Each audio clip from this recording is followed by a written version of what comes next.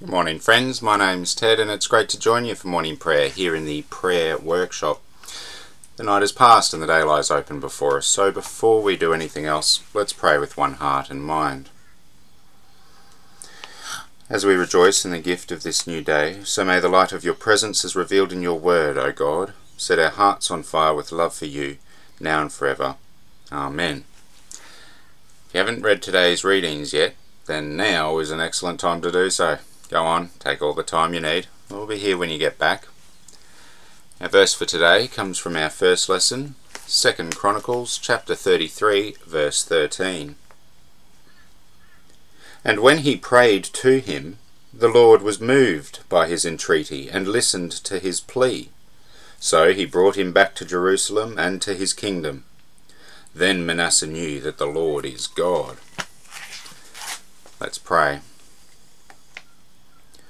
We consecrate this day to your service, O Lord. May all our thoughts, words, and actions be well pleasing to you and serve the good of our brothers and sisters, through Jesus Christ our Lord. Amen. In our passage from St. Paul's letter to the Romans, the Apostle is making a small break in his preaching to tell his audience that he is not telling them anything they do not already know. This is perfectly understandable if we recognise that this letter is a sort of fundraising appeal for his missionary work. The Apostle wants to get on and start planting the gospel in places where Christ is not known, and so he gives the church in Rome a rundown on what his theology is, so that they will feel comfortable in supporting him financially.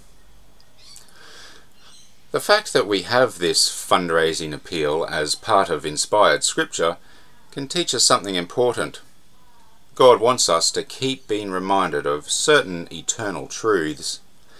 Reading through the story of King Manasseh can feel a bit samey, and so perhaps this principle of needing a reminder applies here too. A godly king dies, an evil king succeeds him. The evil king falls into the darkness he has prepared for himself, repents of his evil, and finds favour and forgiveness with God as a result.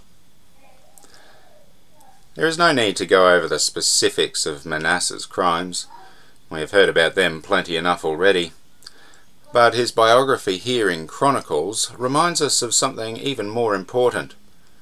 That if we find ourselves in distress and seek the favour of the Lord our God, humbling ourselves greatly before the God of our fathers, the Lord listens more than that, the Lord was moved.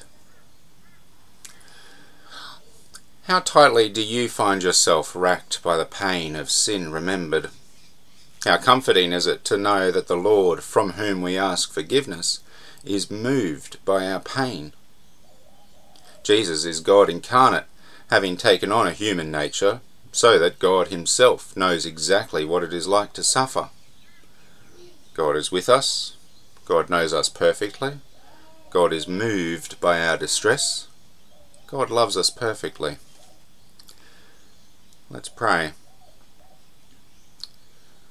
Lord, this work of kingdom building is not easy.